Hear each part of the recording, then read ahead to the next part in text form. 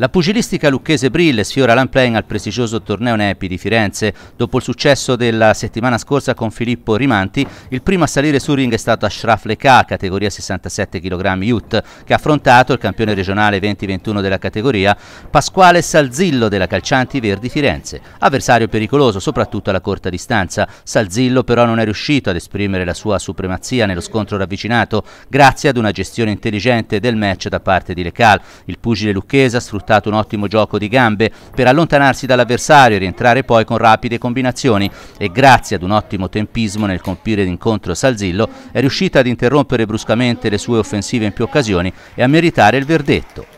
Match di grande intelligenza anche per Lorenzo Frugoli nella categoria Elite 75 kg, opposto al cararese Matteo Tovani, uomo molto pericoloso a cui può bastare un colpo per risolvere l'incontro. Anche qua il copione prevedeva di sfruttare il gioco di gambe e le capacità del pugile made in Lucca per non dare spazio all'avversario, cosa che Frugoli è riuscito a fare con abilità, anche andando a segno con potenti ganci sinistri al volto che hanno fatto più volte vacillare Tovani. Il Carrarino non si è però dimostrato facile da domesticare e nella seconda ripresa è riuscito a mettere a segno un pesante montante al corpo che ha messo in difficoltà Frugoli.